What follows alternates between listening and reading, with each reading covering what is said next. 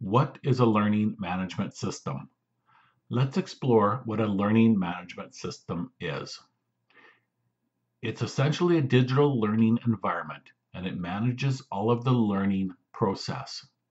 Inside of the learning management system, you're going to communicate your learning objectives.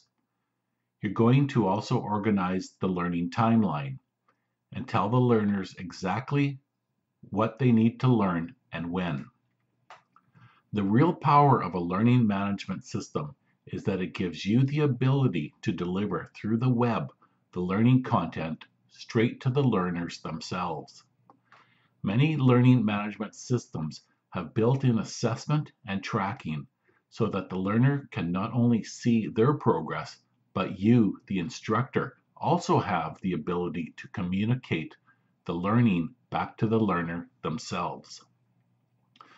One of the most powerful things that a learning management system can do, and is often overlooked, is its ability to create streamlined communication between the instructor and learners.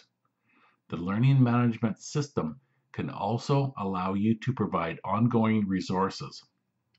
Often, the learning process is not a static moment in time, and the learners need to have access to the learning well beyond the training.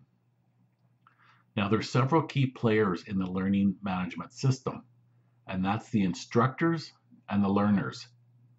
The instructors are the ones adding content. They are also the ones facilitating the learning. They're creating a learning environment and understanding the outcomes that should come from that learning. And they're also sharing the progress of the learners. They're the ones essentially controlling the learning management system. On the learner's side, learners are going to use the learning management system to access the content, whether they're watching videos online that are inside the learning management system or simply finding the syllabus online, they're still going to go through the learning management system to figure out what they need to learn and when. They're also going to follow learning paths that are built into the learning management system. Often our learning is layered, so we need to have foundational knowledge before we move to the next step.